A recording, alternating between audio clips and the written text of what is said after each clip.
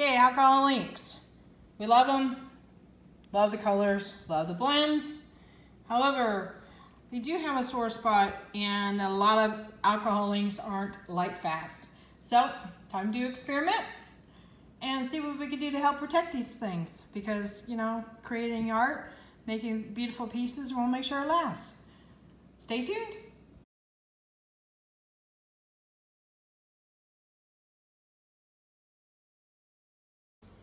Howdy, howdy, everyone.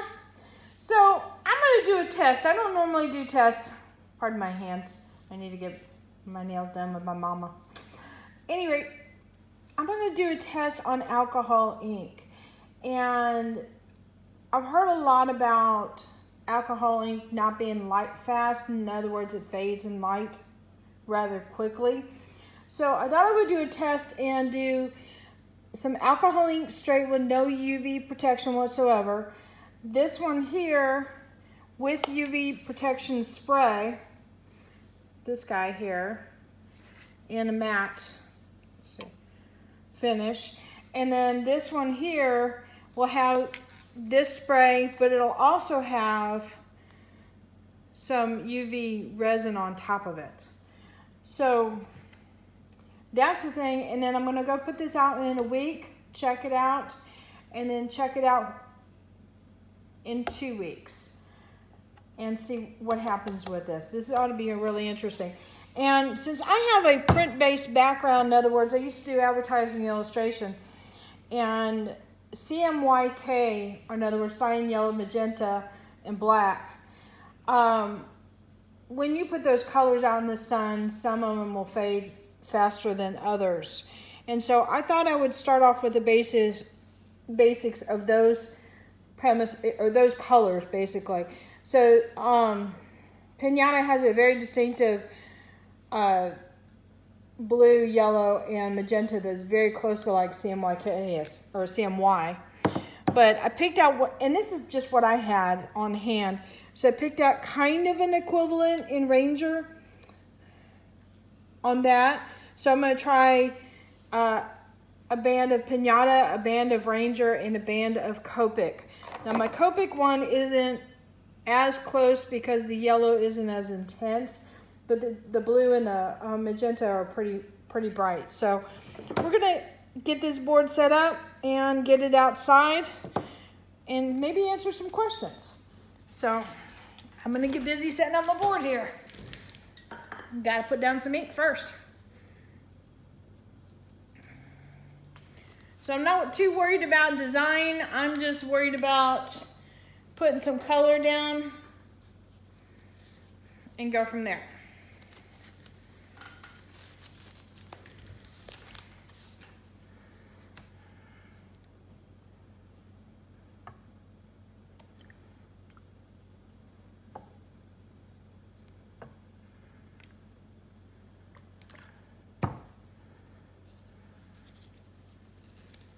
So I'm going to do a couple drips of each color. If they happen to blend next to, to the color next to them, that's fine.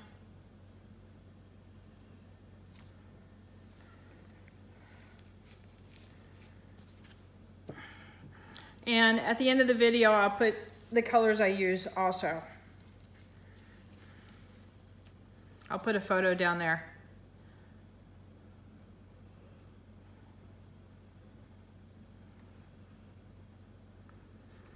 But I keep on hearing this debate, you know, when I post things on different groups and forums and stuff like that, that um, about light fastness. Haha, this blue's wanting to run.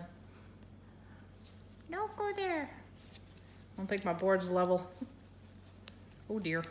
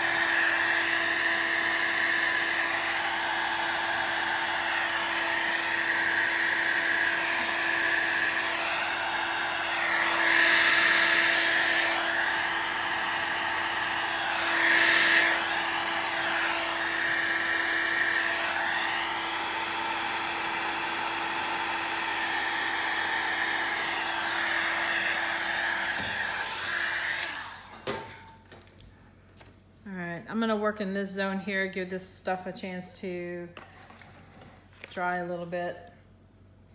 Where is my little bitty alcohol? I don't see it. Okay, very carefully. A little less alcohol.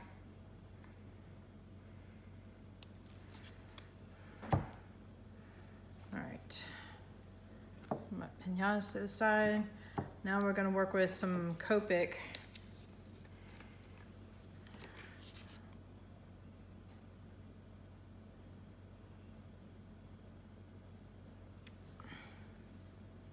I'm gonna do a couple of the yellow. It's more like a butterscotch color.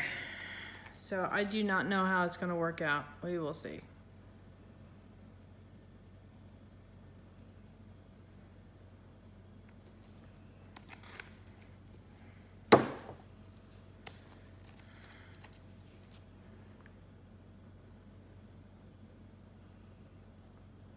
Now remember, I just pulled these from what I had on hand. I didn't go buy colors to match, but I wanted to kind of get the same color range. So what we're looking for is light fastness. In other words, does the color burn out and disappear and fade?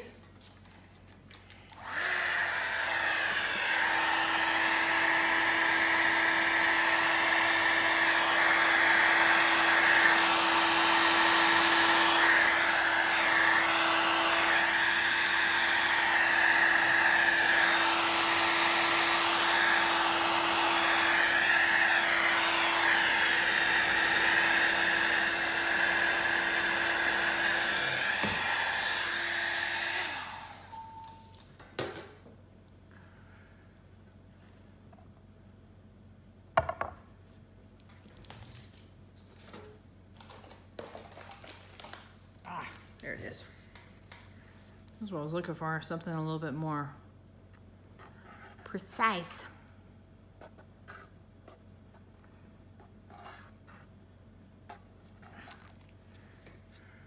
Okay.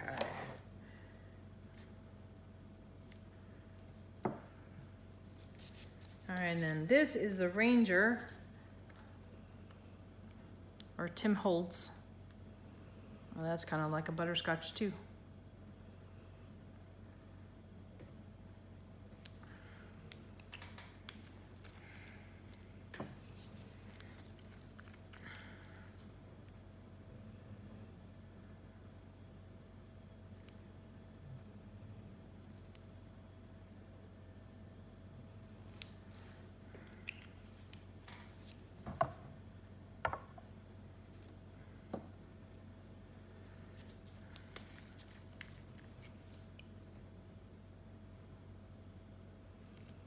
All right, that looks a little bit too green.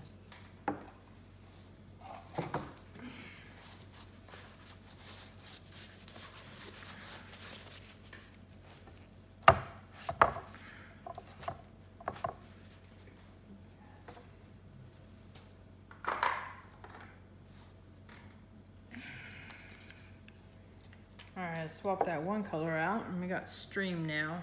So we'll try that one. Um, I'm trying to get a color similar to cyan. Doesn't have to be right on target. It just has to be similar. Magenta has wandered.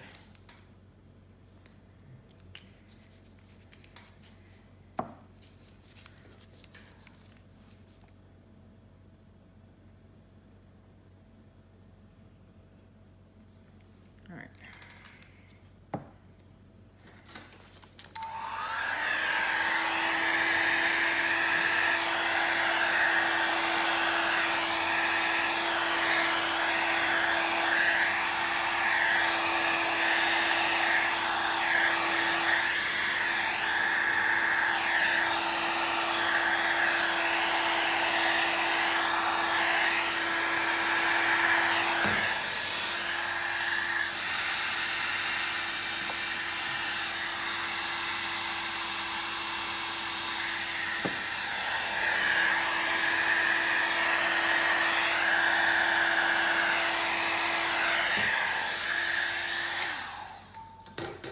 Okay, I just want there to be enough yellow like on each one and enough pink on each one just to be able to see whether or not the sun has an effect with the different protection.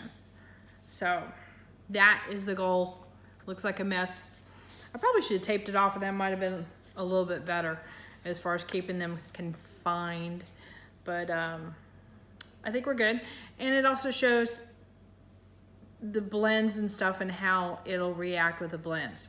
So anyway, uh, next step is I'm gonna put a piece of paper over this, spray this whole thing with a Krylon, and then try and get the resin on just this area here and then put it out in the sun. So the next time you'll see me will be after it's been out in the sun for a week and then after it's been out in the sun for two weeks. So one week and two weeks we should be able to know some. Because I am in Texas, the sun's pretty brutal lately. So it should be a good test, good timing. All right, until then, later. Okay, so I've got all my preparations done for the final test. This has just alcohol ink only. This is a, has alcohol ink and a UV uh, archival spray from Krylon. I got the matte finish on that. And this area here has that same spray, this spray here, as well as some UV protection from uh, resin. This is Stone Coat Art Coat, which I use on all my art pieces. So we're gonna find out if alcohol ink can be, I guess for lack of a better word, protected um, from sun exposure, like uh, like your piece is hanging next to a window or things like that, and see how quickly or not quickly that this um, medium will fade in the sun. So we do have some nice light blends, some nice saturated colors all over, so this ought to be a really good test of the different inks. So hit that subscribe button, hit the like button, but more importantly, hit that bell for notification because I'll put another video up um, to give you an update of this test. So, oh, and also I'm going to take some uh, still shots of it uh, like every two weeks to find out if we can see the progression of it. I'm thinking I should leave it out in the sun for like a month. I don't know. Leave comments below and let me know how, um, how long do you think I should leave this out in the sun to do a good test. Now this is Texas sun. So we could have sun going on for, you know, all throughout fall and stuff. So yes, I will be sticking it in a plastic bag, so not to worry because we do get rain. All right, so later guys.